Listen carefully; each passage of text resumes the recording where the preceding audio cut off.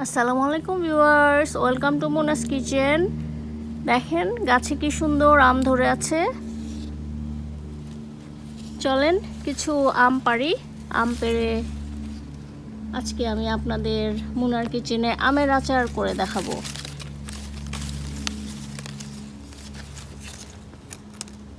আমের আচারের জন্য এরকম মাত্র নতুন উঠেছে আর কি, একদম বাচ্চা আম। এগুলো টক হয়, এগুলো দিয়ে আচার বানাতে অনেক বেটার কি সুন্দর ঝুলছে আম। গাছের আম থেকে যে কোনো গাছ থেকেই ফল পেরে খাওয়ার একটা অন্যরকম মজা। এখানে কিছু কাঁচা আম আছে, আপনার পরিমাণটা, আপনার ইচ্ছা, আপনি চারটাও করতে পারেন, বিশটাও করতে পারেন। তো আমি এখানে আম কেটে নিব। আমের এটা বিচি উঠিয়ে দেখাচ্ছি। দেখেন এখনও কিন্তু শক্ত হয়নি। এই পর্যায়ে আম, ছেলা এবং কাটা দুটাই খুব সুবিধা। আচার কিন্তু আজকে বলে আজকে বানানো যায় না। আচার বানাতে অ্যাটলিস্ট তিন চার দিনের প্রিপারেশন লাগে। আজকে ছিলে, কেটে, লবণ দিয়ে রাখা হচ্ছে। কালকে রোদে দেওয়া হবে। কালকে অলডে রোদে থাকবে। তারপর পরশু দিন যে আমি আমার আচার বানাবো। ভিউয়ার্স সারা রাত লবণ দিয়ে মাখানো ছিল, আমটা। এখন এখানে আমি রোদে দিয়েছি। তো সাথে রসুন দিলাম এক চা চামচ, লাল মরিচের গুঁড়া এক চা চামচ, আর হলুদ আধা চা চামচ। ভিওর্স আমার আম রেডি এখানে আমি আরও কিছু দশ পনেরোটার মতো আম অ্যাড করেছি। সো টোটাল এখানে আমার এখন চল্লিশটার মতো আম আছে। ফোরটি ম্যাঙ্গোস আর রসুন আছে এখানে ওয়ান পাউন্ড কারণ এই আচারটাতে আমি একটু বেশি করে রসুন দিব। আছে মশলা। মশলার মধ্যে থ্রি টেবিল স্পুনস আছে লাল মরিচের গুঁড়া। টু টেবিল স্পুনস করে এখানে এখানে আছে ধনে, জিরা, হলুদ, লাল সর্ষে। আর হলুদ সর্ষে, লবণ। টু টেবিল স্পুনস করে অলসো এখানে আদা আর রসুন ব্লেন্ড চিনি আছে তিন কাপের মতো। এখানে এক কাপ সিরকা। এখানে আধা কাপ আস্ত পাঁচফোড়ন। আর আধা কাপ আস্ত পাঁচ ফোড়নটাই আমি তেলে এখানে গুঁড়ো করে নিয়েছি। সো এখানে আমার তেল, সিরকা, লবণ আছে ব্যাকআপ যদি লাগে আরও অ্যাড করব। তো চলেন আচার বানানো শুরু করি। বিসমিল্লা বলে এতগুলো আচার বানাচ্ছি আর জন্য ভালো হয়। আচারের জন্য সব কিছুই এখানে আমার রেডি আছে। আমও রেডি আম তো একদিন রোদে শুকালাম। আর এখানে একটা বড় পাতিল নিয়েছি। বড় পাতিল নিয়ে ওয়ান কোয়ার্ট তেল আছে। অনেকখানি শুকনো মরিচ দিয়েছি, কারণ আচারটা হবে টক মিষ্টি ঝালের সমন্বয়। আমার তেল গরম হয়ে আসছে। এখন আমি রসুন দিয়ে দিচ্ছি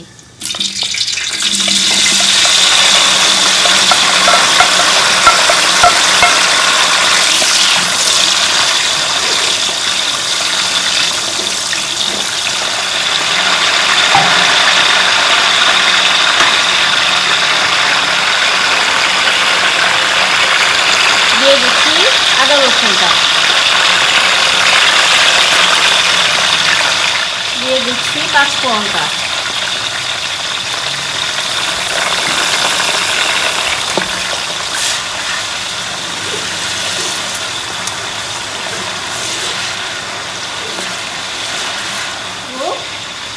মশলাগুলো একসাথে সব কষাবো।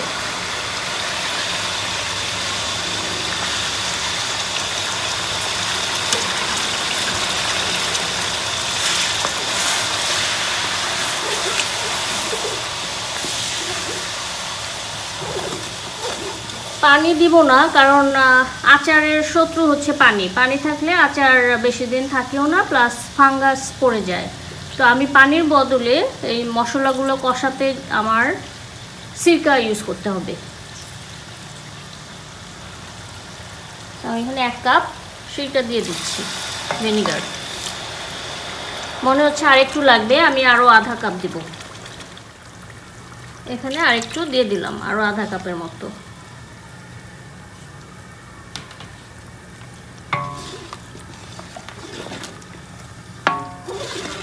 আমি একটু মশলাটা ফাইভ মিনিটসের জন্য কষাবো, ঢাকবো না। সব আচারেই, সব এনি আচার আমরা বানাই, সিরকা মাস্ট দিতেই হবে। আর ঢাকবো না বিকজ ঢাকলে ওখান থেকে পানি বের হয়ে পানি পড়বে, ওটাও চাই না। সো এটা আমি এখন কষিয়ে, এখানে যেটা এক্সেস যদি কিছু ওয়াটার থাকে, এটা চলে যাবে, এর মধ্যে কষানো হবে, তারপর আমি আমটা দেবো। আমি রসুনটা আর ই করব না, আমার কষানো হয়ে গেছে মশলা। আর রসুনটা আর আমি আর গলাবো না, আমি এখন আমটা এখানে ঢেলে দিচ্ছি।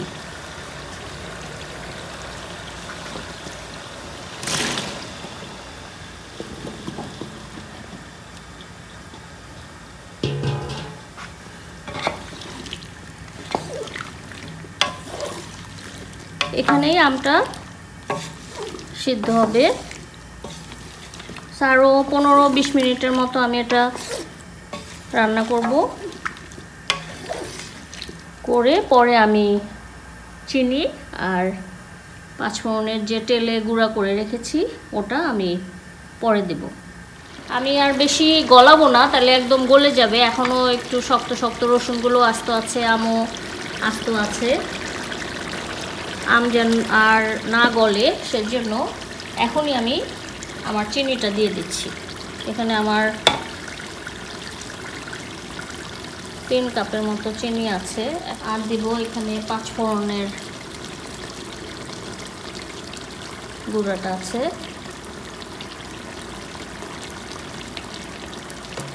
সর্ষের তেলও আর একটু দিব, যেন ফ্লেভারটা পাওয়া যায়। তেল বেশি দিলে সমস্যা নাই, আচারের তেলটা তো যত বেশি হবে আচার তত ভালো থাকবে। প্লাস আচারের তেল তেলটা দিয়ে আমরা মুড়ি টুড়ি মাখিয়ে খেতে পারি।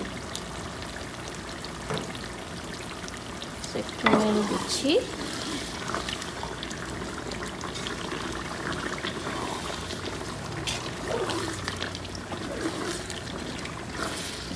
সুন্দর একটা কালার হয়েছে। আপনারা দেখতে পাচ্ছেন। দেখেন এখানে পাঁচফোড়ন, মশলা সব, সবই দেখা যাচ্ছে।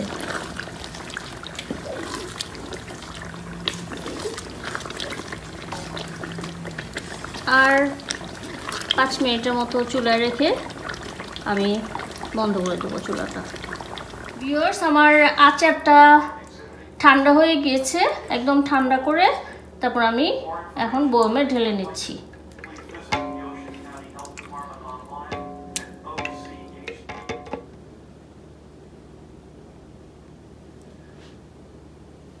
আচার এখানে আমার এই দুটো নতুন। বানালাম যে দুটো হয়েছে। আর এগুলো হচ্ছে আমার লাস্ট ইয়ারের দেখাচ্ছি কি কি আছে। আমার এখানে আমি বানিয়েছিলাম লেবু দিয়ে রসুন। জারকের মতো আর কি, লেবু জারকের মতো। এটা আমের এটা হচ্ছে কাশ্মীরি কাশ্মীরি আচার। এটা হচ্ছে ছিলকা সহ যে আচারটা, ওটা। এটা হচ্ছে আম আর রসুন। আম ঝুরি ঝুরি করে এটা আম আর রসুনের আচার।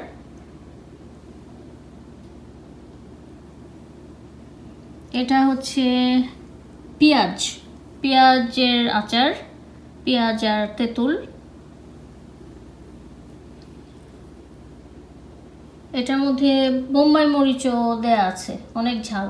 বোম্বাই মরিচ, লেবু আর রসুন দিয়ে এই আচারটা করা।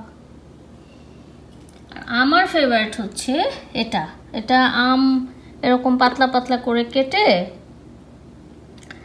তারপরে রোদে, এটা রোদে শুকাই। রোদে শুকিয়ে সব আচারে মশলা দিয়ে শুকাই তো অনেক সময় টিভি দেখি বসে বসে, এরকম অনেকগুলো আচার বসে বসে খেয়ে ফেলি। দেখে মনে হচ্ছে অনেক আচার, তাই না? আমার বর এই আচার ছয় মাস, এক বছরের মধ্যেই যেতে পারে না, শেষ করে ফেলে খেয়ে। আবার নতুন আম আসে। আমাদের ফ্লরিডার এটা একটা অ্যাডভান্টেজ ফ্লরিডাতে থাকা সব মৌসুমের আমরা ফল, ফলমূল পেয়ে থাকি। তো আমও একটা আমাদের কাঁচা পাকা সবই পাই আমরা। তো anyway viewers thank you so much thanks for watching আমার আমের আচারের রেসিপিটা অনেকেরই রিকোয়েস্ট ছিল, তো সবার সাথে আমি এটা শেয়ার করলাম। এরকম করে বানিয়ে খাবেন। আজকের জন্য বিদায় নিচ্ছি। নেক্সট কোনো ভিডিওতে আবার দেখা হবে ইনশাল্লাহ আল্লাহ হাফেজ।